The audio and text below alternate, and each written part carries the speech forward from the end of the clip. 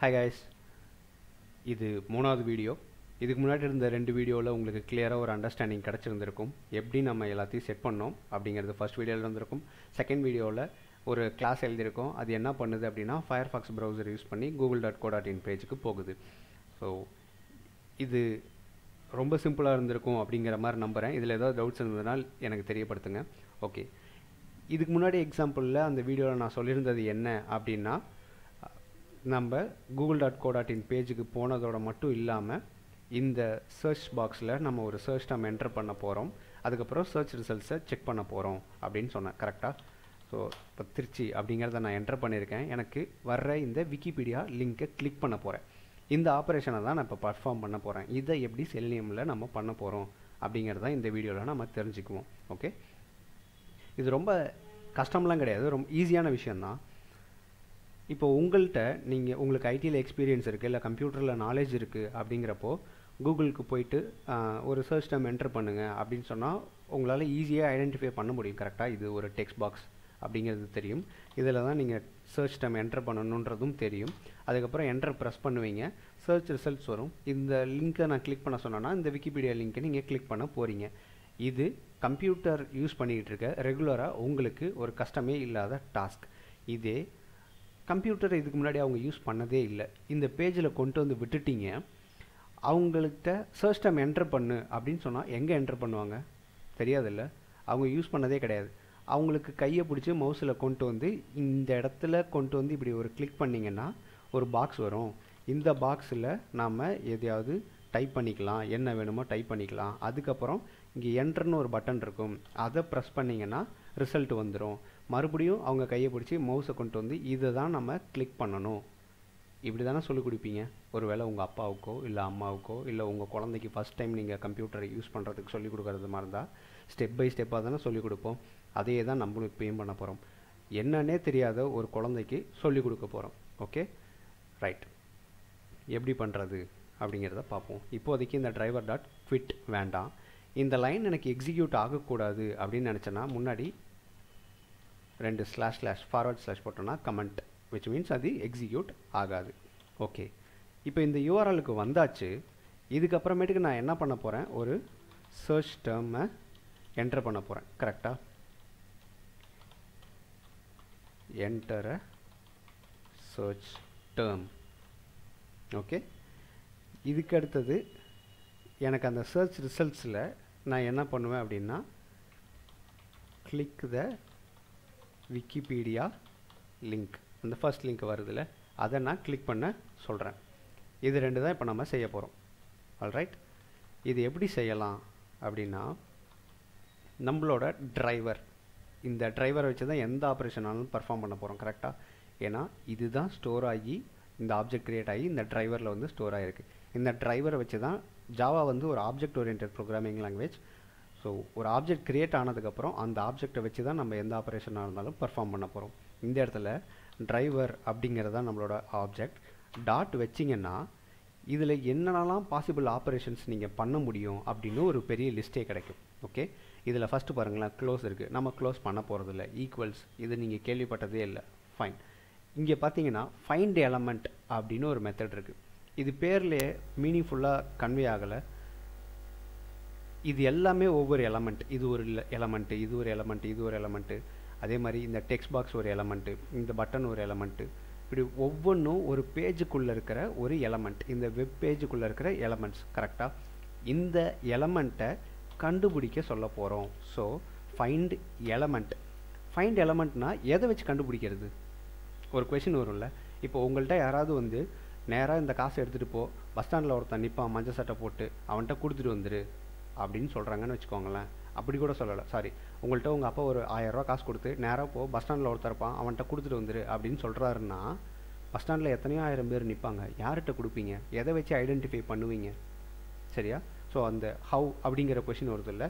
அதை தான் நம்ம மென்ஷன் பண்ணணும். ஃபைண்ட் எலமெண்ட் பை எப்படி கண்டுபிடிக்கணும் அப்படின்னா நிறைய பேராமீட்டர்ஸ் இருக்குது இப்போது உங்களை ஐடென்டிஃபை பண்ணுறதுக்கு உங்கள் பேர் இருக்குது இல்லை ஒரே பேரில் ரெண்டு பேர் இருந்தாங்கன்னா உங்கள் இனிஷியல்ஸ் இருக்கலாம்.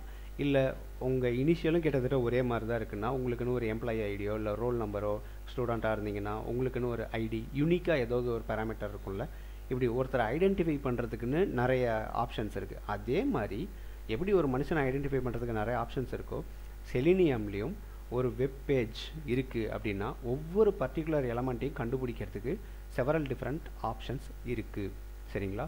வி ஹவ் எயிட் பேராமீட்டர்ஸ் ஒரு எட்டு பேராமீட்டர்ஸ் இருக்குது அது என்னென்ன அப்படின்னா class name CSS selector ID link text name partial link text tag name XPath இது எல்லாமே இப்போது புரியாத மாதிரி இருக்கும் கஷ்டமாக இருக்க மாதிரி இருக்கும். ஒவ்வொன்றும் கிளியராக சொல்கிற மாதிரி சொல்கிறேனே நம்ம ஸ்கூல் காலேஜ்லாம் படிக்கும்போது ஏதாவது ஒரு பெருசாக ஒரு இது வருது அப்படின்னா ஞாபகம் வச்சுக்கோங்க இப்போது செவன் ரெயின்போ கலர்ஸ் என்ன அப்படின்னா violet indigo blue green yellow orange red அப்படின்னு ஞாபகம் வச்சுக்காம விப்ஜிஆர் அப்படின்னு நம்மளே ஒரு அக்ரானிம் மாதிரி க்ரியேட் பண்ணிக்குவோம். ரைட் அந்த மாதிரி இதுக்கு ஒரு கதை நான் சொல்கிறேன் அதை வச்சு ஞாபகம் வச்சுக்கோங்க. ஒரு ஸ்டூடெண்ட் இருக்கான். ஓகே காலேஜில் ஒரு ஸ்டூடெண்ட் இருக்கான் அப்படின்னா கண்டிப்பாக அவனுக்குன்னு ஒரு ஐடி இருக்கும். சரியா? ஸோ ஐடி அப்படிங்கிறத ஃபஸ்ட்டாக ஞாபகம் வச்சுக்கோங்க. ரெண்டாவது அவனுக்குன்னு ஒரு பேர் டெஃபினட்டாக இருக்கும். பேர் இல்லாமல் யாரும் இருக்க போகிறது கிடையாது. சரியா? ஸோ அவனுக்குன்னு இருக்கிற ஒரு நேம் ஐடி நேம் ஓகே அவன் ஏதோ ஒரு கிளாஸில் தான் உட்காந்துருப்பான் அப்படி ஞாபகம் வச்சுக்கோங்க. Class name alright so ID name class name இது மூணும் ஞாபகத்தில் இருக்குல்ல? ஃபைன் இப்போது அந்த கிளாஸில் ஏதோ ஒரு பர்டிகுலர் பொசிஷனில் தான் உட்காந்துருப்பான் கரெக்டாக இப்போ ஃபஸ்ட் பெஞ்சில் ஃபஸ்ட் ஆளாக உட்காந்துருக்கலாம் லாஸ்ட் பெஞ்சில் செகண்ட் ஆளாக உட்காந்துருக்கலாம் இப்படி இந்த பொசிஷனை ஞாபகம் வச்சுக்கும் போது எக்ஸ் பாத் அப்படிங்கிறத ஞாபகம் வச்சுக்கோங்க. ID name class name X path இந்த நாளும் இந்த ஆர்டரில் தெரிஞ்சிச்சுல ஃபைன் அதுக்கப்புறமேட்டுக்கு ட்ரெஸ் போட்டு தானே போவோம் ஆப்வியஸாக எல்லாருமே ட்ரெஸ் போட்டு தான் போகணும் கலர் கலராக ட்ரெஸ் போட்டுட்ருக்கோன்னு வச்சுக்கோங்களேன். சிஎஸ்எஸ் அப்படிங்கிறது கலர் ஸ்டைல் ப்ராப்பர்ட்டி கரெக்டாக இது எதுவுமே இப்படி தான் ஞாபகம் வச்சுக்கணுன்றது கிடையாது. நான் ஈஸியாக ஞாபகம் வச்சுக்கிறதுக்காக நானே உருவாக்குற கதை. ஒரு ஸ்டூடெண்ட் இருக்கான் அவனுக்கு ஒரு ஐடி இருக்குது அவனுக்கு ஒரு நேம் இருக்குது அவன் கிளாஸில் தான் இருப்பான். அந்த கிளாஸில் ஏதோ ஒரு பர்டிகுலர் பொசிஷனில் தான் அவன் உட்காந்துருப்பான் அவன் கலர் கலராக ட்ரெஸ் போட்டிருப்பான். ஸோ சிஎஸ்எஸ் செலக்டர் இந்த அஞ்சு விஷயம் இப்போதைக்கு ஞாபகத்துக்கு வந்துருச்சு. மீதி எல்லாமே என்ன அப்படிங்கிறத போக போக அடுத்தடுத்த எக்ஸாம்பிளில் பார்ப்போம். ஓகே இந்த அஞ்சும் இப்போதைக்கு ஞாபகம் வச்சுக்கோங்க.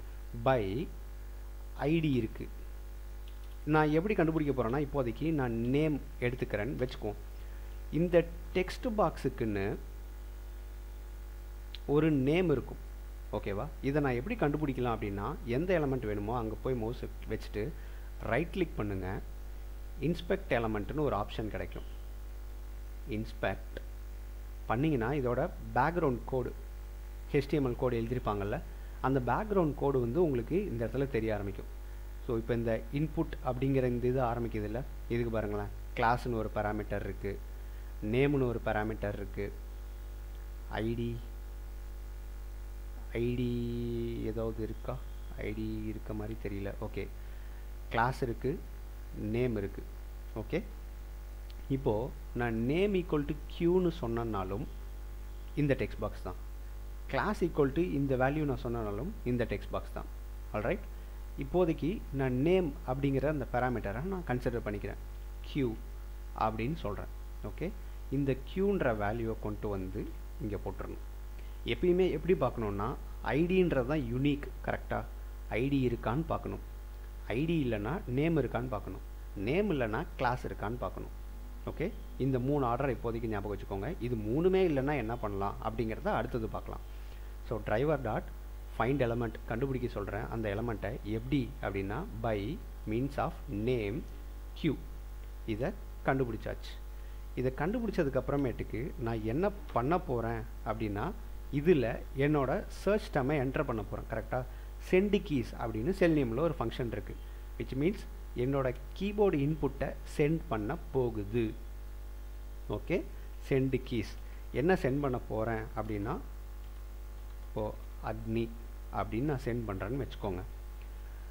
Driver dot find element by name Q இப்படி இது வரைக்கும் என்ன ஆயிருக்குன்னா அந்த டெக்ஸ்ட் பாக்ஸ் கண்டுபிடிச்சிருக்கோம். அந்த டெக்ஸ்ட் பாக்ஸை கண்டுபிடிச்சிட்டு அதில் நான் என்ன பண்ணுறேன் சென்ட் கீஸ் அக்னின்னு கொடுக்குறப்போ எனக்கு இந்த அக்னின்ற வேல்யூ அங்கே சென்ட் ஆகிடும் ஓகே இதை செக் பண்ணி பார்க்கலாமா? ரன் பண்ணுறதுக்கு right click run as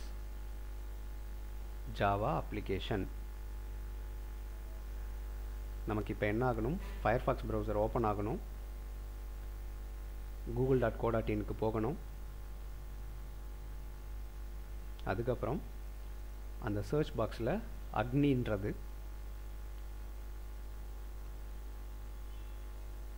enter ஆகணும்.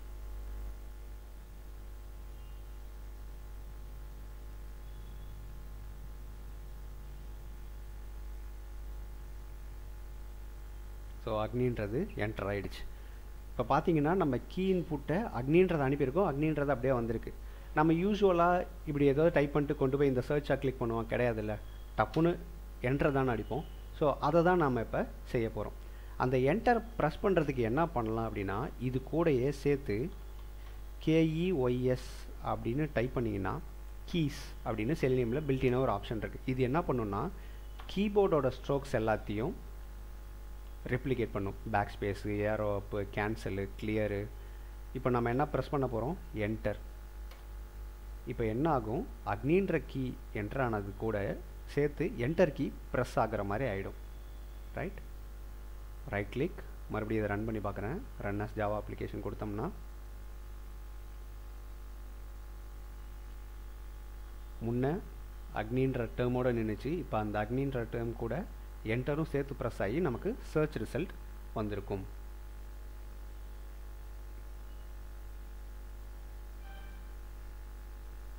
ஓகே ஸோ இந்த சர்ச் ரிசல்ட்ஸ் கிடச்சிருச்சு. இதில் நம்ம முக்கியமாக தெரிஞ்சிக்க வேண்டியது ரொம்ப ரொம்ப மேஜரான விஷயம். செலினியமில் நைன்டி ஃபைவ் பர்சன்ட் இதுதான் எல்லாமே.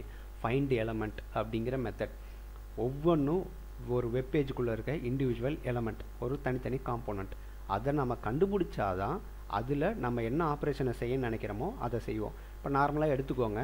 ஒரு ஃபார்ம் ஃபில்அப் பண்ணுற மாதிரி இருக்குன்னு வச்சுக்கோங்க. ஜிமெயில் அக்கௌண்ட் கிரியேஷன் இருக்குன்னு வச்சுக்கோங்க. ஃபஸ்ட் நேம் ஒரு டெக்ஸ்ட் பாக்ஸ் இருக்கும். மிடில் நேம் ஒரு டெக்ஸ்ட் பாக்ஸ் இருக்கும். லாஸ்ட் நேம் ஒரு டெக்ஸ்ட் பாக்ஸ் இருக்கும். ஜெண்டர் ஒரு ரேடியோ பட்டன் இருக்கும். கரெக்டாக உங்களோட கண்ட்ரி என்னன்னு செலக்ட் பண்ணுறதுக்கு ஒரு ட்ராப் டவுன் இருக்கும். இப்படி டிஃப்ரெண்ட் இண்டிவிஜுவல் காம்போனன்ட்ஸ் இருக்குது தெரியுமா?